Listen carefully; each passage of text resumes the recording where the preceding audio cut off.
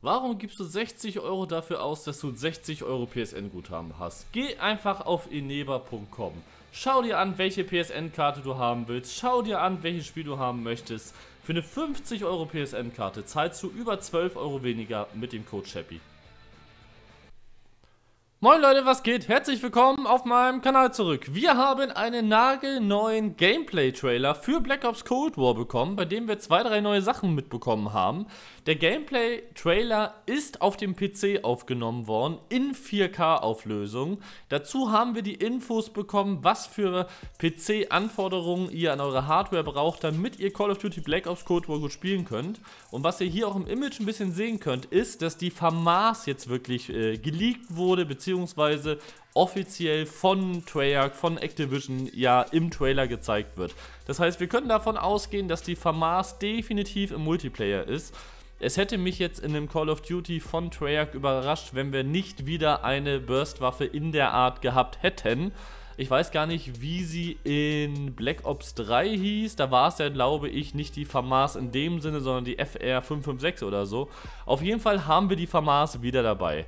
Was wir ebenfalls sehen, die China Lake, beziehungsweise der China Lake ist da. Wer das nicht kennt, äh, China Lake ist im Prinzip ein Granatwerfer, der zwei Granaten führen kann. Ihr schießt also, schießt ein zweites Mal, dann ist sie leer. Manchmal ist es auch so, dass man da so Kits für nehmen kann. Ich weiß natürlich nicht, wie das in diesem Game dieses Mal ist, wo man dann eine Granate reintun kann mit mehr Sprengkraft. China Lake ist also definitiv wieder da, konnte man im Trailer und kann man im Trailer relativ gut sehen. Zu diesem Trailer haben wir ein Image bekommen, ein bisschen, es ist eine Mission. Exclusive Ace hat das gestern einmal angesprochen, er konnte diese Mission schon einmal vorab sehen. Wir wissen über die Missionen an sich natürlich noch relativ wenig. In dieser Mission seid ihr euch von einem Helikopter ab und seid in Russland aber dort sind russische Spezialkräfte, die etwas aufgebaut haben, was aussieht wie ein amerikanischer Vorort mit so einem Diner links an der Seite. Und ihr müsst diesen Vorort, dieses Testzentrum infiltrieren. Seiner Meinung nach eine der besten Kampagnen, beziehungsweise eine der besten Kampagnenmissionen, die wir im neuen COD haben. Ich persönlich freue mich riesig auf die Kampagne, denn in Modern Warfare zum Beispiel die Kampagne fand ich persönlich absolut beeindruckend und großartig. Dieser Trailer an sich hat uns nicht viel mehr Infos gegeben, dafür aber der Investor Call von Activision fürs dritte Quartal. Wer das noch nicht mitbekommen hat, Activision hat verschiedene Investoren. Diese Investoren führen einmal im Quartal öffentlich, dann äh, bekommen wir immer die ein paar ausgespickte Infos von diesen Calls und die Investoren sprechen mit den Verantwortlichen von Activision darüber, was passiert, was ist der Plan, wie sieht's aus, bla bla bla bla. Und hier haben wir dann die Info vom CEO von Activision bekommen, dass Warzone nicht mit dem Release von Black Ops Cold War am 13. November automatisch geupdatet wird, sondern dass wir die Integration zwischen Black Ops Cold War und Warzone erst irgendwann im Laufe des Dezembers bekommen. Er hat keine Angaben darüber gemacht, in welchem Dezember. Es kann also der 1. Dezember sein, es kann also der 31. Dezember sein. Zusammen mit dieser Integration wird dann auch der erste Season Pass bzw. die erste Season rauskommen. In Modern Warfare, wenn wir einmal zurückschauen, war es genauso. Dort hatten wir dann die erste Season irgendwann im Dezember und auch da ist Warzone erst gestartet. Das heißt, ihr braucht nicht darauf warten, dass ihr ab dem 13. 14. November eure Blackout, äh, eure Black Ops Cold War Ausrüstung in Warzone benutzen könnt. Das wird erst drei bis sieben Wochen später sein, je nachdem an welchem Datum im Dezember wir mit der Season 1 rechnen können.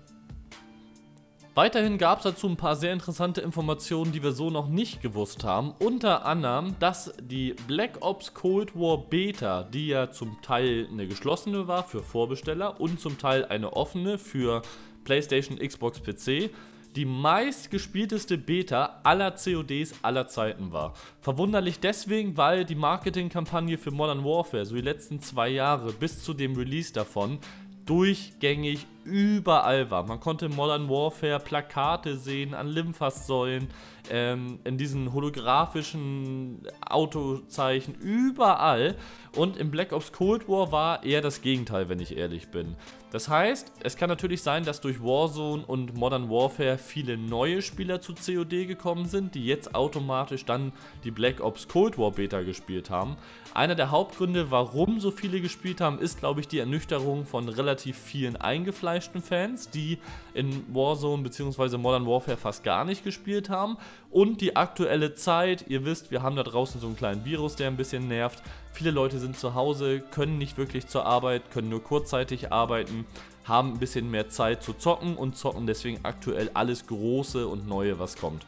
Weiterhin hat der CEO von Activision gesagt, dass wir alle unsere Waffen, jetzt müsst ihr aufpassen, die von Level 1 bis Level 55, 1 bis 55, Prestige Leute, Prestige, alle Waffen, die wir in diesem Rang erspielen, können wir später von Black Ops Cold War auch in Warzone ganz normal benutzen. Das ist insofern erstmal nichts Neues, weil wir ganz genau wussten, dass wir die Möglichkeit bekommen werden, unsere Loadouts aus Black Ops Cold War in Warzone zu nutzen. Da muss man natürlich gucken, ob das mit den Perks nachher irgendwie noch das gleiche ist oder oder. Da wird sich ein bisschen was ändern, denn es wäre ja unfair, wenn es eine Feldaufrüstung gibt in, Co in Warzone, wo man Totenstille nehmen kann aber als Perk aus einem Loadout von Black Ops Cold War man automatisch Totenstille dabei hat, wenn man es auswählt. Es wird sich da noch einiges zu mit Sicherheit ergeben, wir werden noch Infos dazu bekommen, aber das Wichtigste war, dass er gesagt hat, alles was wir zwischen Level 1 und Level 55 freispielen, er hat in diesem Statement nichts dazu gesagt, dass es gleichzeitig bedeutet, dass wir den Prestige-Modus, so wie wir ihn alle lieben und schätzen gelernt haben, wiederbekommen. Ich kann mir sehr gut vorstellen, ähnlich wie sie in Black Ops Cold War in der ganz frühen Alpha-Version ja eigentlich das Radar hatten wie in Modern Warfare, nämlich ohne rote Punkte. Das haben sie ja, bevor es veröffentlicht wurde, schnell wieder mit reingenommen, weil sie natürlich bei Modern Warfare mitbekommen haben, was für ein Shitstorm von der Community daraus entstanden ist. Ich kann mir sehr gut vorstellen, dass sie eigentlich geplant haben, mit diesen komplett verblödeten Season Rankings oder Seasonal Ranks weiterzumachen wo ihr einmal bis Level 55 spielt, das bleibt dann immer und zu jeder Season wird das einfach nur zurückgesetzt. Ihr müsst wieder bis Level 155 spielen und kriegt dann ab Level 155 oder ab Level 100 diese komplett verblödeten, die, wie, wie hieß es, Officer Ranks oder irgendwie sowas. Ja, einige von euch haben soweit gespielt, ich habe es mir einmal angeguckt, ich fand es absolut dämlich. Ich möchte gerne einen Prestige-Modus wieder haben, so wie wir ihn aus den letzten Jahren kennen. Level 1 bis 55, ich resette meinen Account, ich bekomme ein Icon dafür, als Dankeschön sozusagen. Was ich schon seit Jahren sage, ist, dass äh, Call of Duty endlich mal anfangen sollte, uns fürs Prestigen ein bisschen mehr zu belohnen. Dann fange ich eben mit meinem Standard-Basic-Waffen und Perks wieder an, spiele mich wieder hoch und kriege wieder mehr. Das normale Prestige-System wird in diesem, Modern, äh, diesem Black Ops Cold War mit Sicherheit nicht so kommen, wie wir es kennen. Das kann ich mir nicht vorstellen.